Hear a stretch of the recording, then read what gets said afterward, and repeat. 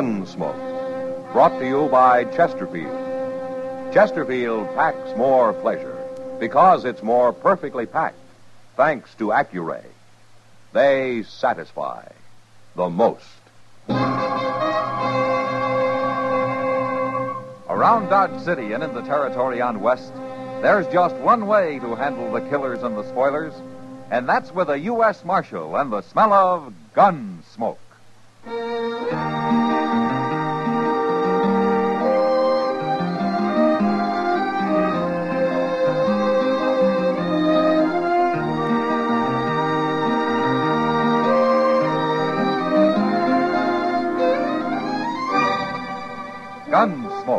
Starring William Conrad. The transcribed story of the violence that moved west with young America. And the story of a man who moved with it. I'm that man, Matt Dillon, United States Marshal. The first man they look for and the last they want to meet. It's a chancy job, and it makes a man watchful and a little lonely.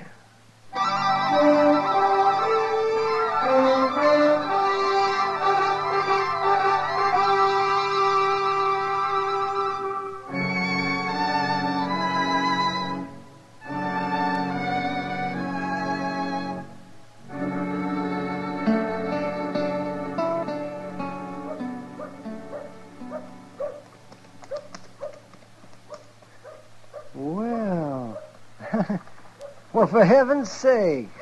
Matt, Yeah, what, Doc? look at that coming. It's a Surrey. What? A four passenger Surrey. Oh, well, that's the first one of those I've seen west of St. Louis. What? That's Kitty up there with the driver, isn't it, Doc? Kitty, oh, oh, why, so it is. but who is the driver? I don't know. I don't know the one sitting in back either. Gee, that's pretty fancy for Dodge. Yeah. Yeah, those are a couple of dudes, if I ever saw any. Mm, green as squash. Hi, Matt. Hello, Doc. Hi, Kitty. Hello, Kitty. Hi, thanks.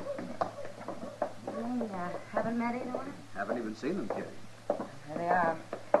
Marshal Dillon, Doc Adams, Mr. Samuel Sprague, and Clifton Bunker. Hello. Howdy Greg, do, Mr. Mr. Bunker. Bunker. Quite a wagon you gentlemen have. We brought it with us, Doctor, on the train. We've been all over the country around here in that Surrey, haven't we, Bunker?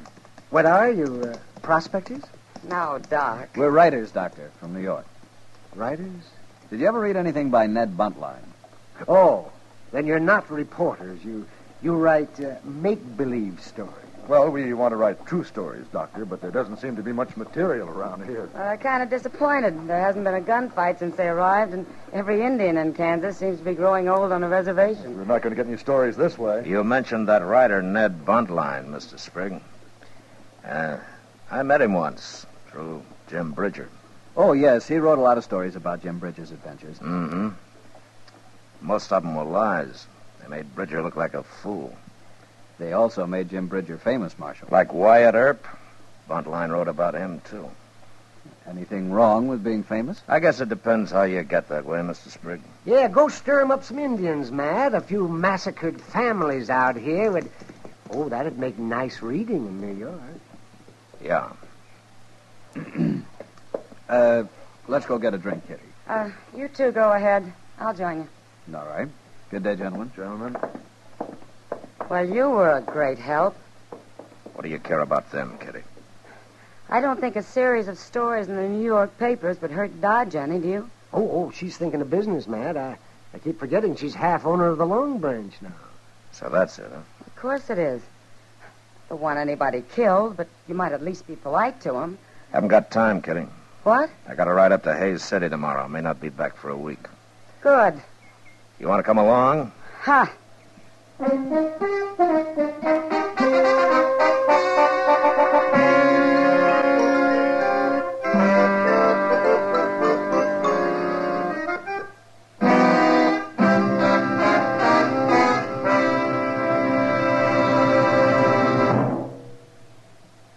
Introducing one of the country's best known jazz musicians and arrangers, Mr. Bobby Haggart. How about whistling along with him?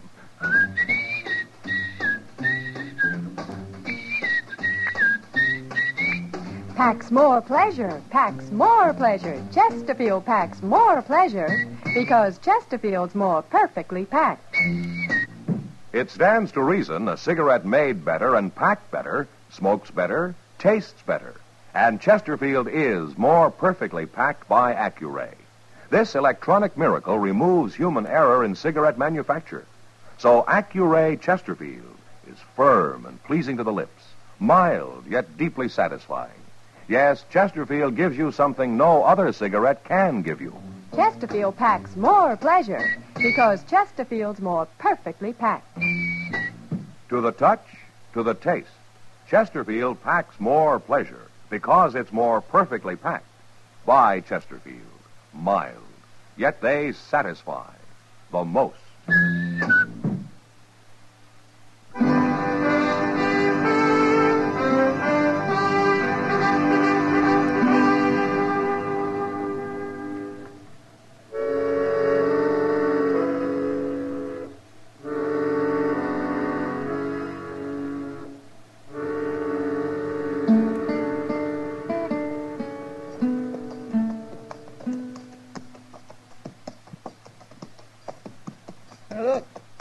Cavalry up ahead there, Mr. Dillon.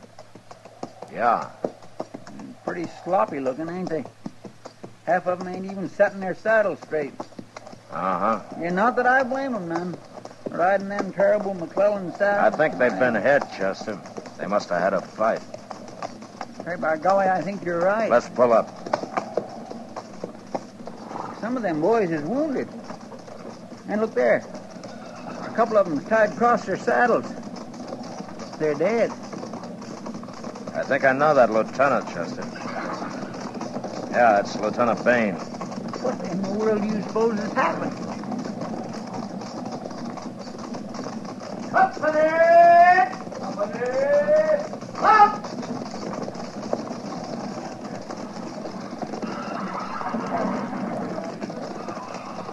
Hello, Lieutenant. Can we give you any help? Might have this morning, Marshal. Indians? Chief Little Hawk. Little Hawk.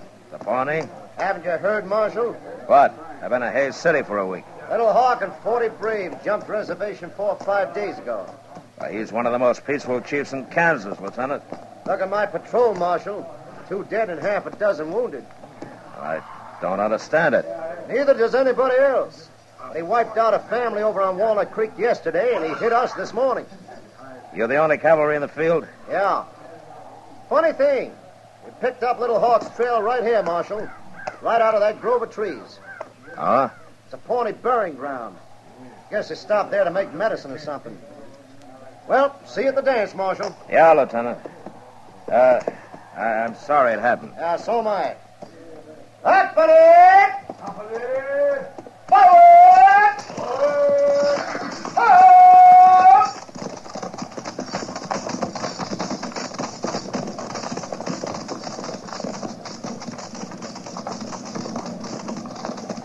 Come on, Chester.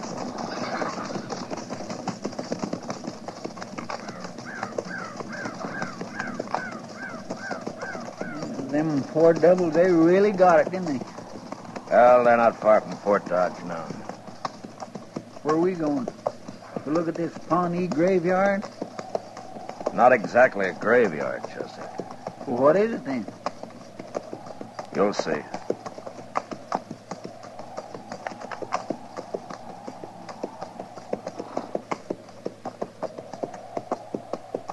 Dillon, what's all them poles sticking up over there? With them platforms on? Graves, Chester. Oh, yeah. I've heard of that. They bury people up in the air on them platforms, don't they? Yeah, that's right. These is all new, Mr. Dillon. At least they're empty. There ain't no corpses laying on. 'em. Yeah. Little Hawk must have come by here to pick up his dead and take him with him. What for? I don't know. They must have been in an awful hurry. Look at that platform over there. Uh huh. It's half tore down. Yeah, I noticed it. The rest of 'em ain't. No. I declare, I, I don't feel right here, Mr. Dillon. Neither do I, Chester. All right, come on, let's go.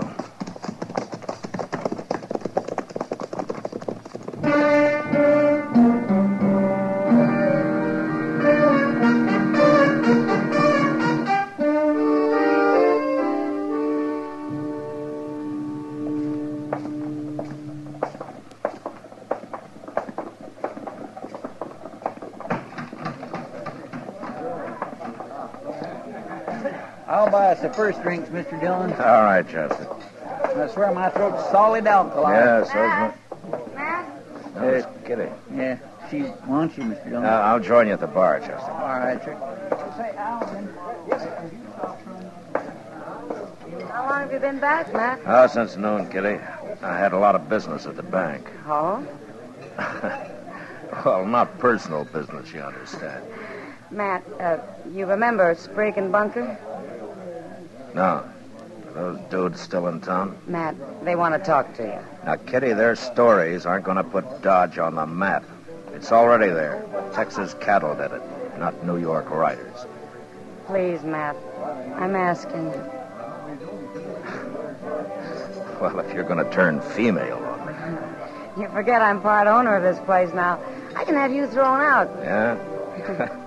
I'd sure be talking to those two. Oh, right there, Matt, at that table. You see him? No. Well, then walk around a while. You'll find him. I'm going to talk to Chester.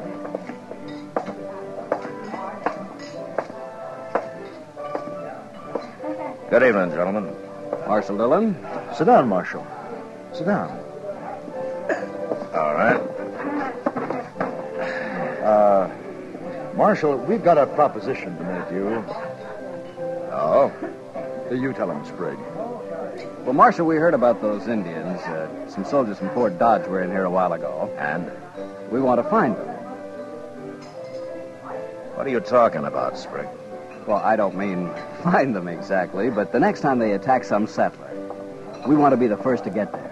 That way we'd really see what it's like, Marshal. Maybe we could even talk to the survivors, if there are any. We'll pay you well. Pay me for what?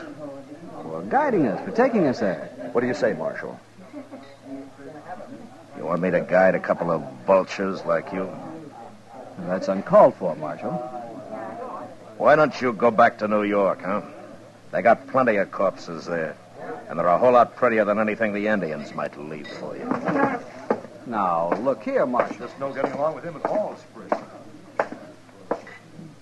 Well, you certainly didn't talk to them very long, Matt. Is that my drink, Chester? Uh, no, sir, it ain't. No, it ain't. It ain't. It's my. It's my. It's. It's yours now. Pour yourself another one. I'll buy it. Well, thank you. I don't mind if I do. Oh, uh, Mr. Dillon, look at this little dido Miss Kitty's been showing me. Huh? Well, they had it hung up behind the bar there. See, it's all carved out of bone. Here, let me see that, Chester. Interesting, isn't it, Matt? Where'd this come from, Kitty? Well, it's an Indian totem of some kind. Sprigg and Bunker brought it in. Sprig and Bunker? But they're just lending it to us to hang behind the bar. I... Now what? I'll go with him, Chester. Well, I'll go. Where did your men get this totem? We've had enough of you for tonight, Marshal. Well, I want to know where you got this totem, Sprig. You're choking me. Then tell me. We got it from a soldier, A soldier? What soldier? A private from Fort Dodge. His name was Roger Harlow. We bought it.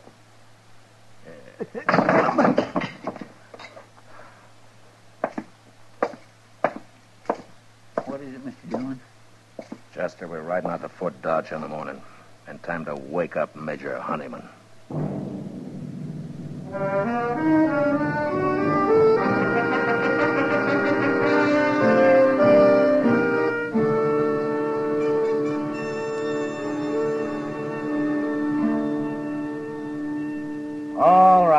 Marshal. B Company moved out yesterday.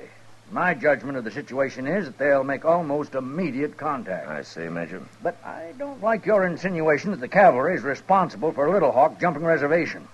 Well, I'll admit garrison life's dull, but no soldier in my command would want action that badly.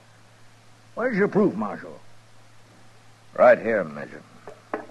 Why, This is a Pawnee totem. It's more than that, Major. It's a Fox Clan totem. Little Hawk's clan. Yeah. Well, I've told you where I think it came from. Now let's get that private in here and settle this, huh? Marshal, I'll feed him to Little Hawk if this is true. Oh, Sergeant, Sergeant Grimes. Oh, uh, what'd you say his name is? Harlow. Roger Harlow. Yes, Major? Now, Sergeant, you pride yourself on knowing every man at Fort Dodge. As regimental sergeant, I consider it my duty, sir. What company is Private Roger Harlow assigned to? Private Roger Harlow? Yes, that's right. There ain't no Roger Harlow on this post, Major. There never had been.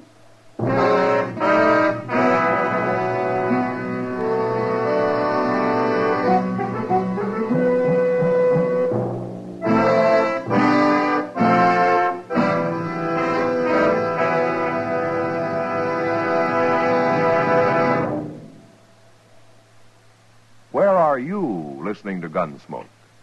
In your kitchen? Getting ready for Sunday supper? Maybe in your living room, relaxing? Or out driving? Say, be sure and watch the road. But remember, there's pleasure ahead when you smoke Chesterfield. When you satisfy yourself with Chesterfield's better taste and mildness. It stands to reason. A cigarette made better and packed better smokes better, tastes better.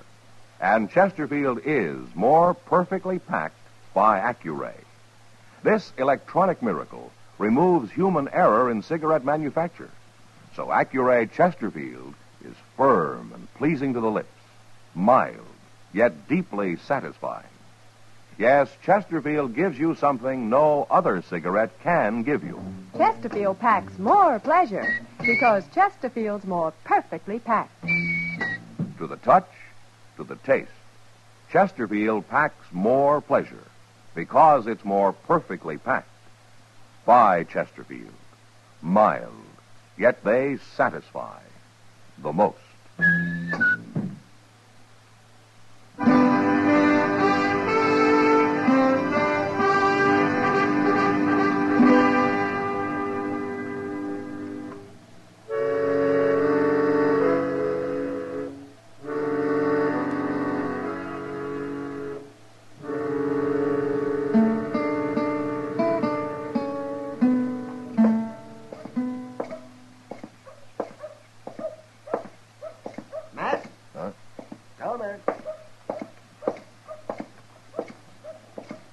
Morning, Doc. Good morning.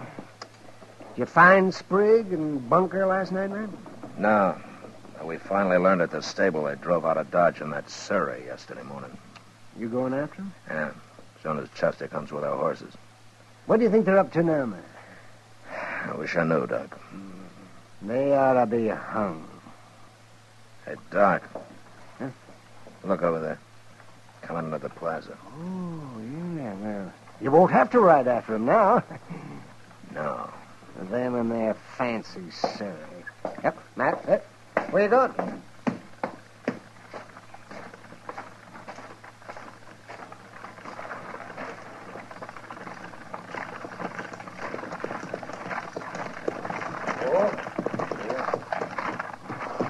Hello, Marshal.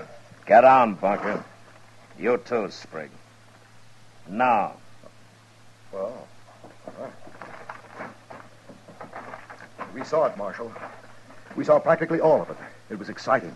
And with no help from you either. Oh, it was magnificent. The cavalry really got their own back this time. What are you talking about, Bunker? The Indians. The cavalry practically wiped them out. What? Yesterday, Marshal, just before dark. We were driving along the Arkansas and heard all that gunfire and commotion up ahead. And we got there just in time to see what few Indians were left running for their lives. They killed all but half a dozen of them, and they got that Chief Little Hawk, too. You saw this, huh? Oh, now, Marshal, we wouldn't be making it up, would we? And I might add that it's about time we saw something around here. You know, Sprigg, I was talking to Doc Adams over there when you drove in. You know what he'd like to see? No?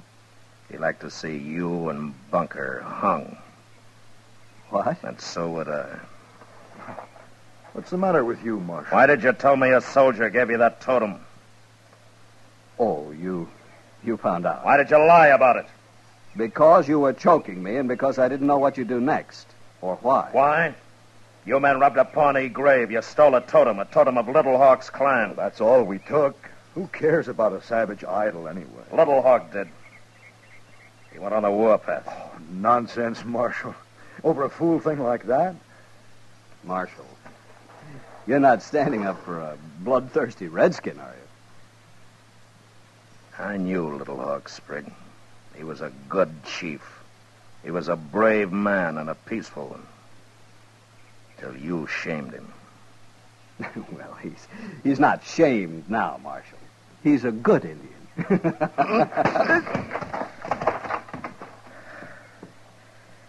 now you get out, both of you. You get out today. Enough men have died because of you. And you go back to New York. And when you get there, you write a story about a marshal who'd have liked nothing better than handing you over to Little Hawk. If he were still alive.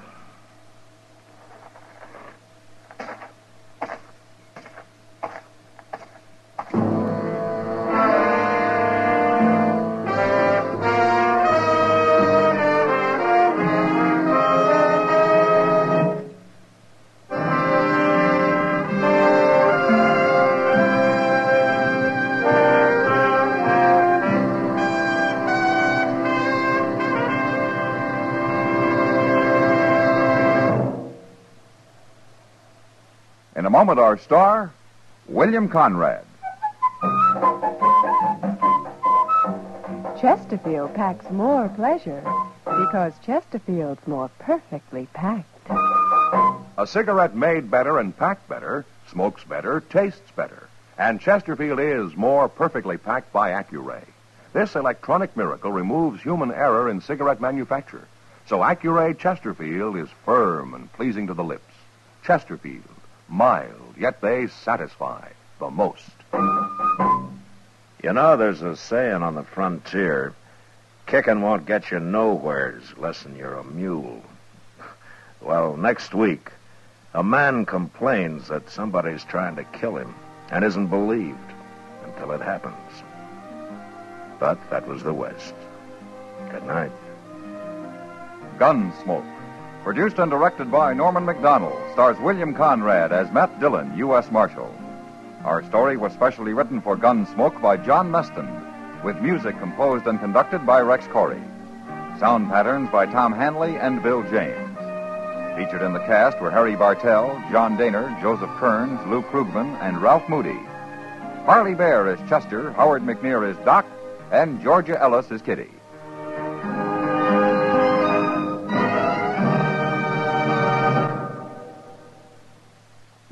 Modern. Smoke L&M. Live modern. Change to L&M. Only with L&M can you enjoy the full, exciting flavor of today's finest tobaccos through the modern miracle of the pure white miracle tip. So light up, free up, let your taste come alive. Live modern. Smoke L&M. Live